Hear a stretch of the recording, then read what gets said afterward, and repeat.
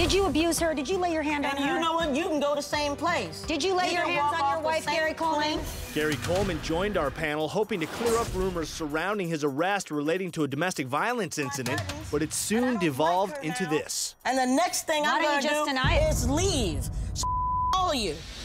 Here's what you didn't see yesterday as our cameras captured Gary's erratic behavior as he stormed off the set. You and all of you. You. Through the darkened studio Take your damn mic. You.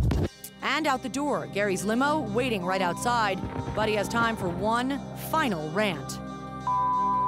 Now, after the walk off, seconds after Gary stormed out, we kept cameras rolling and we were shocked. We talked about what had just happened. I thought it was almost going to get violent with you, Lisa. I got scared for you. Well, this is what cross-examination in court is like, and if you have questions that you don't want to answer, you have to hide and hide and obfuscate, and eventually he couldn't take the heat. He didn't want to answer the questions. Well, I tell you what, I'm not an attorney, but I am a mother, and I was ready to put him over my knee and spank him. I'll tell you that. And it's very interesting that the one thing he did say was that he was coming on to set the rumors about him straight, and he did nothing but create more rumors. It was heartbreaking. It really Yeah. was.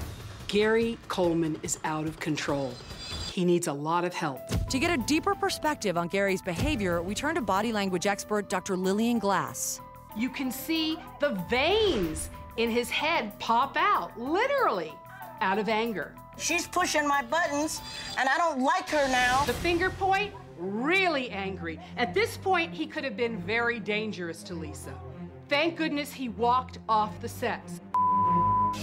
Our thanks to Dr. Glass for providing her expert analysis. And I just got to say, guys, I've seen it all.